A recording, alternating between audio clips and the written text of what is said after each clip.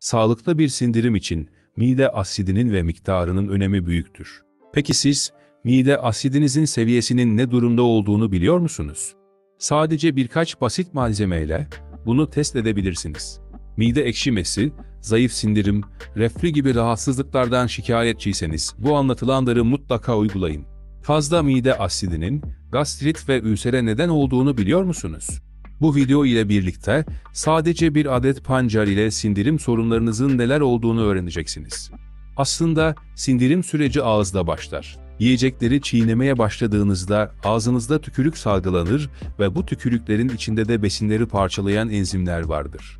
Daha sonra çiğnenmiş besin mideye gider ve mide genişleyip kendi asidini serbest bırakır. Serbest kalan mide asidi proteinleri çözmek için pH'a ihtiyaç duyar ve B12 vitaminini bağırsaklar için daha kullanılabilir hale getirir. Mide asidinin çok fazla olması durumunda mide ekşimesi ve reflü sorunları ortaya çıkar. Peki bu asit az miktarda olunca ne olur? Hemen söyleyelim.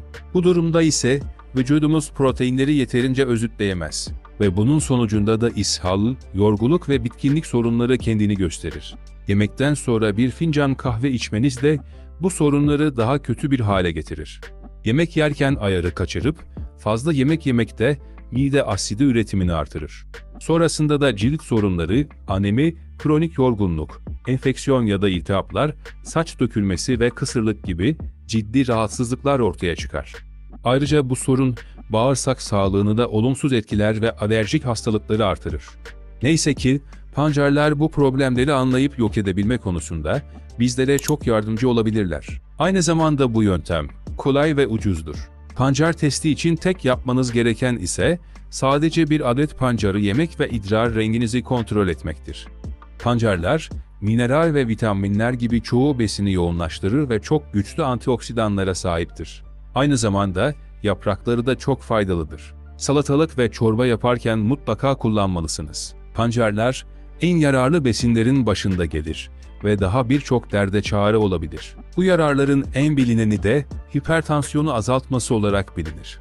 Pancar yedikten sonra eğer idrarınız hafifse doğru miktarda mide asidiniz var demektir. Ancak idrarınızın pembemsi olması durumunda mide asidi seviyenizin düşük olduğu anlaşılır. Reflü, mide asidi, mide ekşimesi ve diğer zayıf sindirim belirtilerini tedavi etmek için ise bol bol su içmeniz yeterlidir. Ayrıca mide ekşimesi olduğunu hissettiğinizde bir elma yemeniz çok faydalı olacaktır. Çünkü yemiş olduğunuz bu elma rahatsızlık duyduğunuz mide asidini stabil duruma getirir.